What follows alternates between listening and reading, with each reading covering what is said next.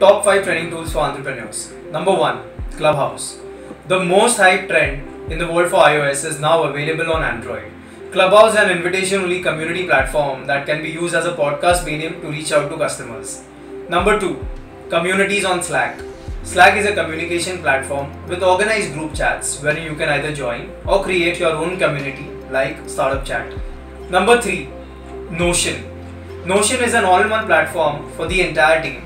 From people to tasks, from targets to projects, everything can be managed at one workplace. Number 4 AngelList. AngelList is the world's largest community wherein you can explore an idea, find an investor, and scout a talent. Number 5 Buffer. Integrate all your social media accounts to one place and make social media posting easier.